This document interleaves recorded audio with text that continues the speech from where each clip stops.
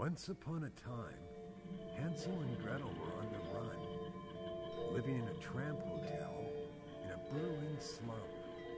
Landscapes and horizons morphed into apocalyptic streets.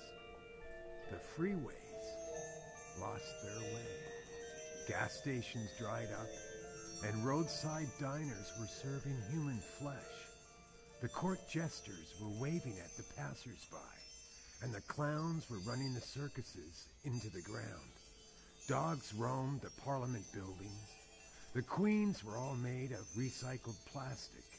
Corporations, the new religions. Yves Saint Laurent dresses made with nuclear waste.